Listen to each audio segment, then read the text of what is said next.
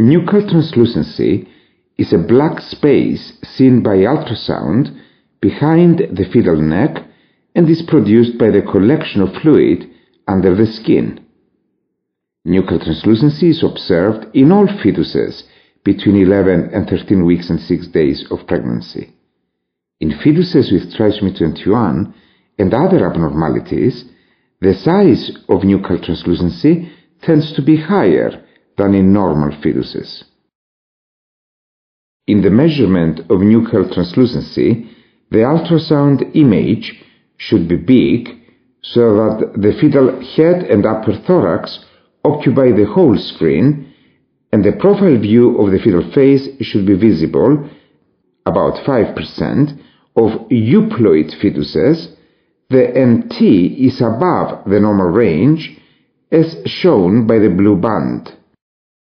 About 75% fetuses with Down syndrome and other chromosomal defects, the red dots, the NT is above the normal range, the blue band.